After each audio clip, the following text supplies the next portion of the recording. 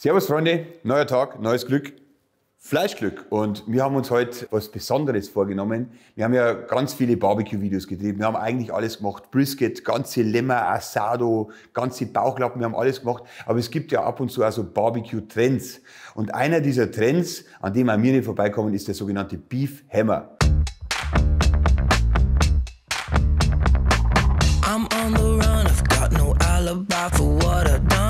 Took what you treasure and I'm never gonna give it up. Yeah.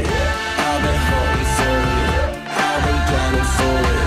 I'm the villain, and I'm gonna take it, take it.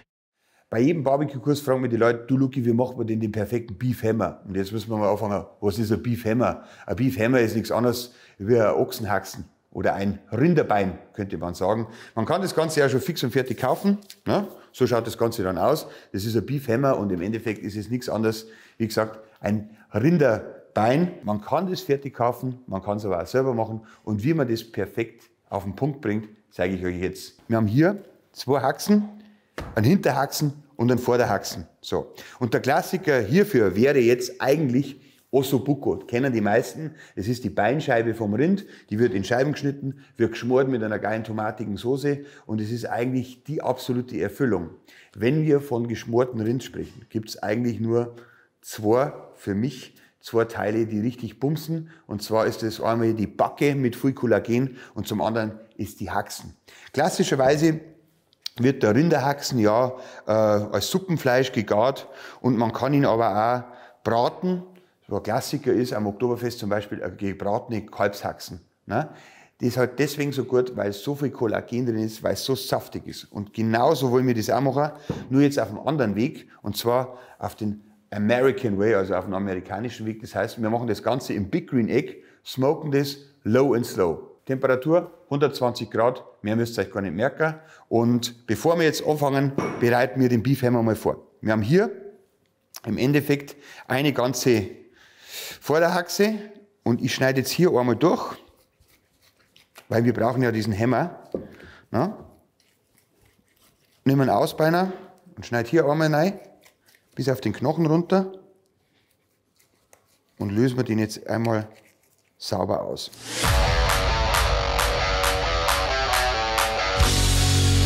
So, meine Beefhammer habe ich jetzt äh, schön pariert und das, was ich hier oben weggeschnitten habe, ja, das ist richtig geiles Fleisch zum Schmoren. Und damit machen wir später ein tolles Gericht im Dutch Oven. Also nichts verkommt. Das brauchen wir später. Damit der Kerl steht, das ist das Wichtigste, ja, er muss stehen, ja, im Grill. Und der wird jetzt umfallen, weil ich habe hier nur dieses Kugelgelenk. Gibt es jetzt zwei Möglichkeiten. Entweder ich schneide es mit der Handsäge, ich zeige euch das mal, und würde hier so ansetzen so Handsäge hat eigentlich jeder daheim, gibt seinen Metzgerbedarf. Oder wir machen es eben professionell. Ich nehme einfach meine Kreissäge, meine Bandsäge und schneide hier einmal durch.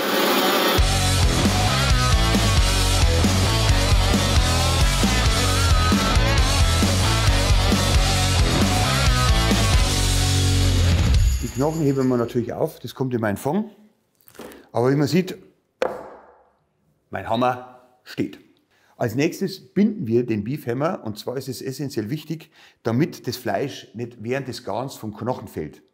Na? Und das wäre ja schade. Eigentlich soll es ja vom Knochen fallen, denn FOTB, wie jeder in der Barbecue-Sprache weiß, Fall of the Bone bedeutet, dass das Fleisch so zart ist, dass es vom Knochen fällt.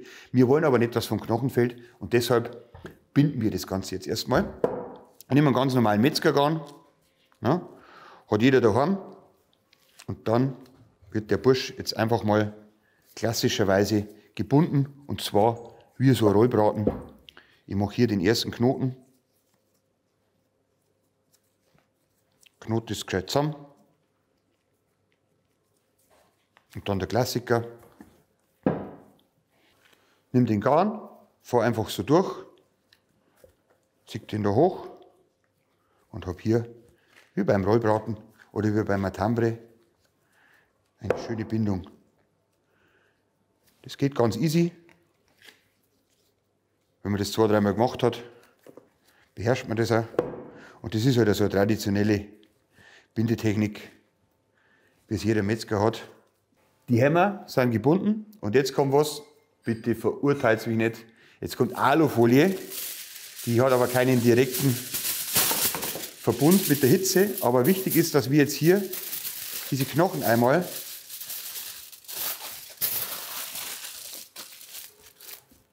abbinden. Und zwar ist die Alufolie wichtig, damit der Knochen nicht so braun wird.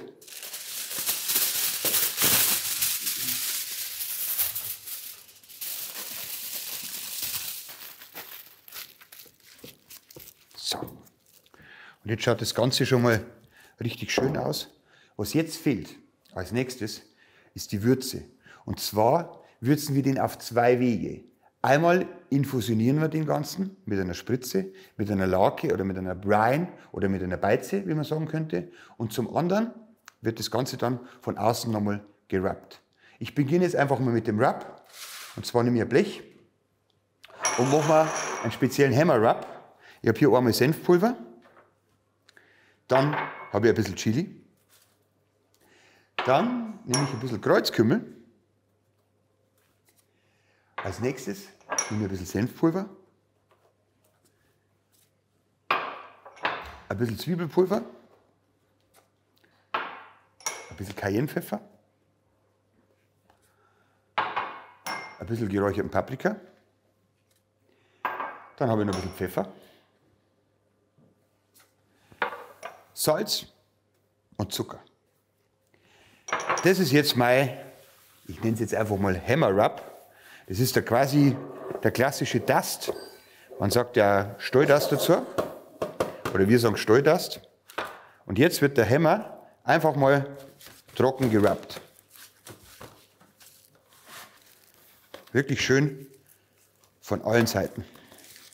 Man könnte die Würzmischung auch fertig kaufen, aber wir zeigen euch den Hammer wirklich von der Keule bis zum fertigen Ergebnis, wie man es selber macht. Und das Schlimmste finde ich eigentlich sind diese fertigen Würzmischungen, ne? weil jeder Pitmaster hat seine eigene Würzmischung, jeder hat seinen eigenen Geschmack und seinen eigenen Dust zum haben, also sein eigener Barbecue Rub. Das ist eigentlich so, ja, die Benchmark. Ja? Wie gesagt, den Rub, den wir machen, der kommt aus Kansas City. Das ist der klassische Barbecue Rub. Man sagt äh, Brie to Rub, der eigentlich für die Ribs gedacht ist. So schaut das Ganze aus. Als nächstes geht es an die Infusion. Also Infusion heißt im Endeffekt, wir machen eine Beize, die wir in das Fleisch spritzen. Am bekanntesten ist äh, eigentlich eine Salzlake, das kennt man vom Kassler, sagt euch vielleicht was.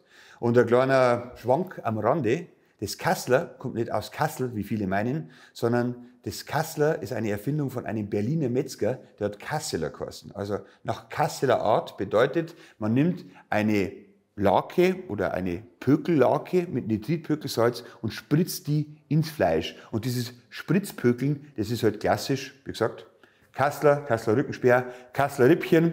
Wir machen das Ganze jetzt ein bisschen anders und zwar machen wir eine Infusion, die es richtig in sich hat. Beginnen tue ich mit Cider, also mit Cidre. Die meisten kennen Apfelessig oder Apfelsaft. Wir nehmen Cidre. Hier habe ich eine schöne Säure mit drin und gebe das jetzt einfach mal dazu. Als nächstes nehme ich ein bisschen Worcestersoße oder Worcestersoße, ne? Worcestershire Sauce. Ne? Ich sage einfach die Worcestersoße. Muss unbedingt mit rein. Dann kommt was, was eigentlich nicht so typisch ist fürs Barbecue. Ich nehme ein bisschen Mirin. Mirin kommt aus Japan und das ist so ein gesüßter Reiswein-Sake-Essig. Somit kriege ich ein bisschen Süße mit rein. Und weil wir schon beim Thema Süße sind, kein Gericht in der Küche vom Stall oder von Lucky Maurer ohne Ahornsirup. Ahornsirup, unsere eierlegende Wollmilchsau, macht eine schöne, gesunde Süße und gehört unbedingt mit dazu. Dann brauche ich mal noch ein bisschen was Saures. Jetzt nehme ich noch einen Holunderessig, schön von Theo. Also einen süßen Essig. Ihr könnt da einen Apfelessig nehmen, ihr könnt sogar einen Himbeeressig nehmen, wie ihr lustig seid. Einfach einen schönen süßen Essig. Und ganz zum Schluss, was war Barbecue ohne Whisky? Ich habe jetzt hier einen Harley Davidson Whisky. Nicht sparen. So.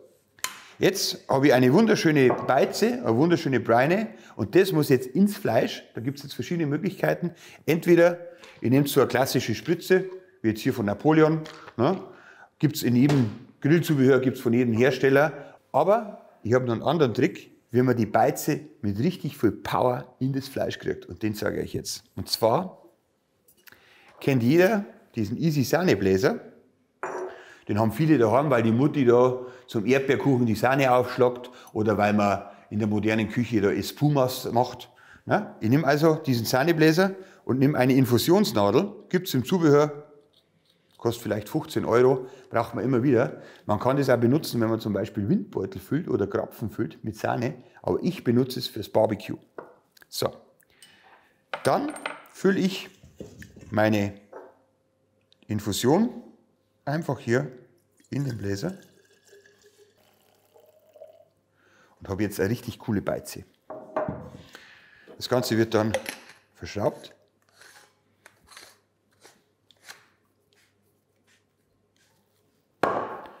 Als nächstes nehme ich eine Patrone. Und eine Patrone reicht vollkommen. Ich brauche ja nur den Druck. Ich will ja nicht, dass sich das Ganze aufbläst, sondern ich will nur den Druck. Einmal gescheit schütteln. Und jetzt geht's los. Ich gehe in mein Hammer und spritze den richtig schön. Jetzt geht das Ganze erstmal aufs Big Green Egg für drei Stunden bei 120 Grad. Los geht's.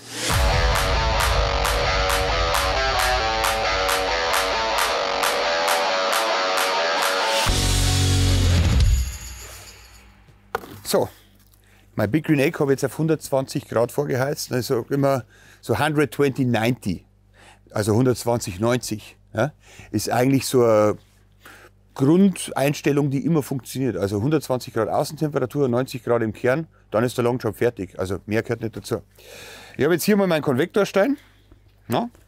Und ich lege jetzt einmal Blech drunter, weil ich habe natürlich auch relativ viel Fleischsaft und es wäre viel zu schade, viel zu schade, wenn ich diesen Fleischsaft später einfach nur in der Glut versickern lasse. Deshalb Blech rein, dann kommt der Rost drauf. Und letztendlich wäre es jetzt natürlich super, wenn ich den Beefhammer gerade reinstellen kann. Klappt aber nicht von der Höhe her. Deshalb lege ich den jetzt erst. Und wichtig, legen auf die Knochenseite. Der muss jetzt noch gar nicht stehen. So, und das war der ganze Zauber. Jetzt ist erstmal nichts tun angesagt. Ne? Ich kann jetzt ein Bier trinken oder ich mache schon mal die Beilage dazu, beziehungsweise die Beilage zum Beefhammer macht unsere Eva. Servus Freunde, es geht weiter und zu dem unglaublichen Beefhammer, den der Lucky ja vorhin aufs Green Egg hat, darf ich mit euch jetzt einen Kartoffelsalat machen. Und der Kartoffelsalat soll nicht so klassisch bayerisch, wie man es in jedem Wirtshaus kriegt, äh, werden, sondern wir geben noch richtig schönen knusprigen Speck dazu, ein paar Jalapenos und anstatt Zucker nehmen wir einfach ein bisschen Ahornsirup. Aber als erstes schälen wir mal die gekochten Kartoffeln.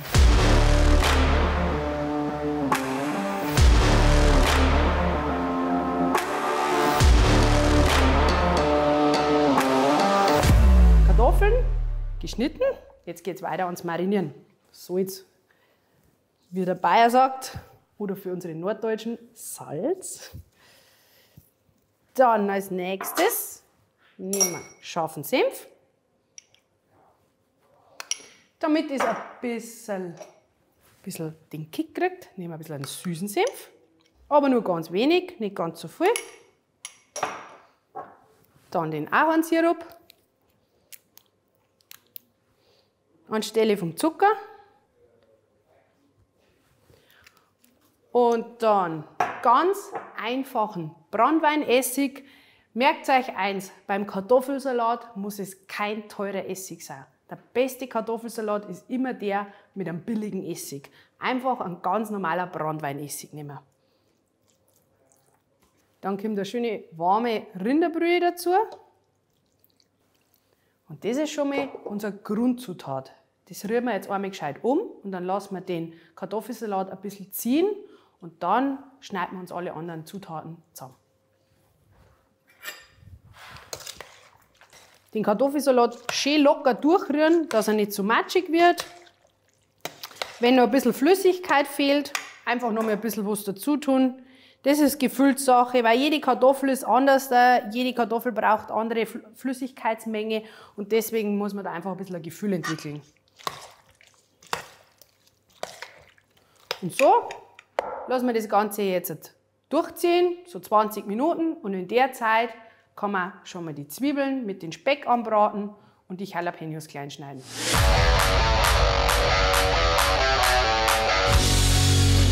Ja, der Kartoffelsalat hat jetzt durchgezogen.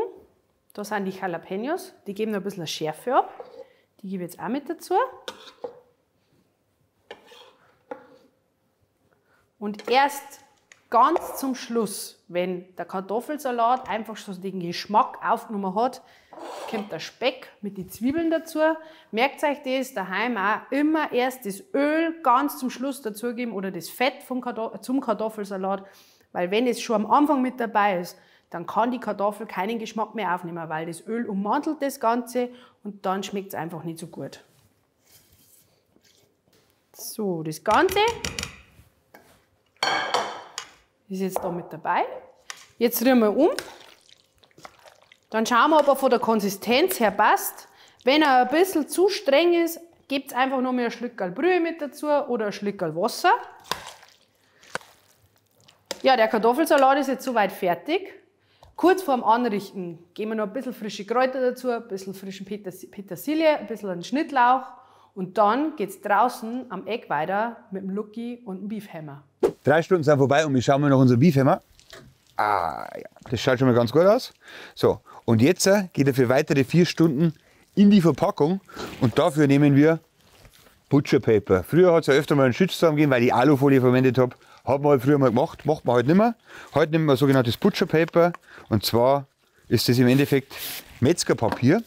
Das ist so ein wachsbeschichtetes Papier, wo man halt wunderbar das einpacken kann. Und ich mache das jetzt ganz einfach. Butcher Paper. So. Den Burschen da rein. Und dann wird der einfach nur hier so eingepackt.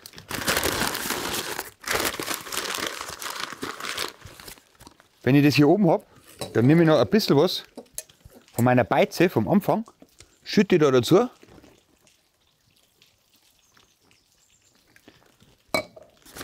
So ungefähr 100 Milliliter, damit ich da wirklich schöne Flüssigkeit drin habe. Und dann kommt wieder mein Faden zum Einsatz.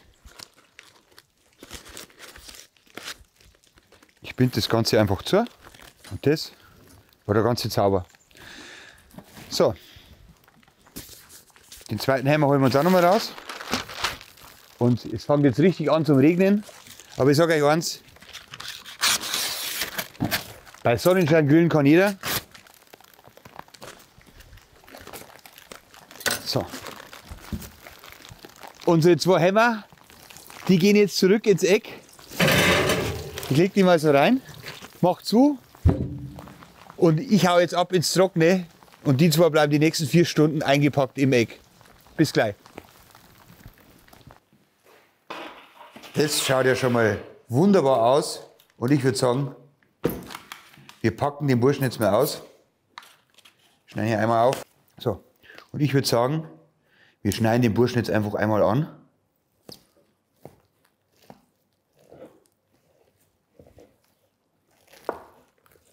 Und schaut mal, das Fleisch ist ultra zart.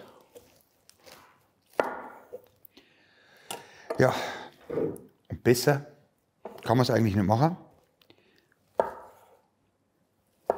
Ich schneide das Ganze mal in Scheiben. Wir haben einen richtig schönen, saftigen Biss. Man sieht jetzt schon, das Messer, das buttert da richtig durch. Und viele machen es so, dass sie den Beefhammer hinterher wirklich pullen. Ich finde das überhaupt nicht gut. Es schaut immer so schon mal gegessen aus. Schön ist es wirklich, wenn man wie beim Ossobuco einfach tolle Tranchen hat und butterweich. Das Ganze wird jetzt so serviert. Mit der Eva einen sensationellen Kartoffelsalat, mit der Focaccia und mit ein bisschen Barbecue-Soße. So. Das riecht mir jetzt schön an. Hier unsere Scheiben vom Beef Hammer. Machen wir ein bisschen Barbecue-Soße mit dazu. Dazu kommt unser schöner Kartoffelsalat von der Eva.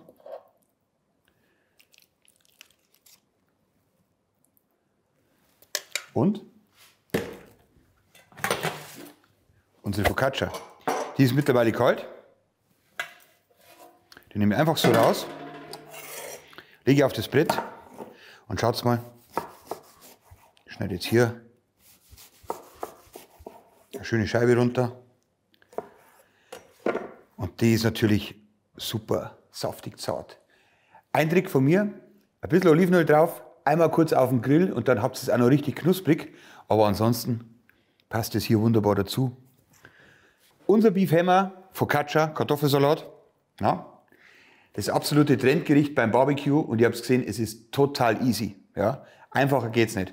Wenn ihr Lust habt, das nachzumachen, folgt zu unserem Channel. Am besten lasst ihr Abo da, wenn ihr noch keins da habt. Und um den perfekten Beef Hammer daheim nachzumachen, braucht ihr genau dieses Messer, deshalb verlosen wir das. Schreibt einfach einen Kommentar drunter, warum ihr diesen Ausbeiner aus der Black Edition von Lucky Maurer und F. Dick braucht. Ja, macht es nach und abonniert unseren Channel. Wir sehen uns wieder. Es gibt nur ein Glück. Fleischglück. Euer Lucky Maurer.